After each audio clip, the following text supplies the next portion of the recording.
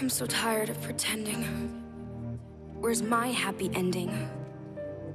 I followed all the rules. I drew inside the lines. I never asked for anything that wasn't mine. I waited patiently for my time, but when it finally came, he called her name. And now I feel this overwhelming pain. I mean, it's in my veins. I mean, it's in my brain. I'm kinda like a perfect picture with a broken frame. I know exactly who to blame.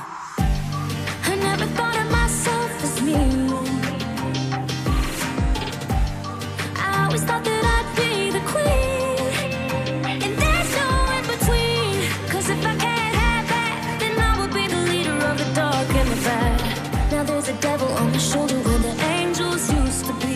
And he's calling me to queen.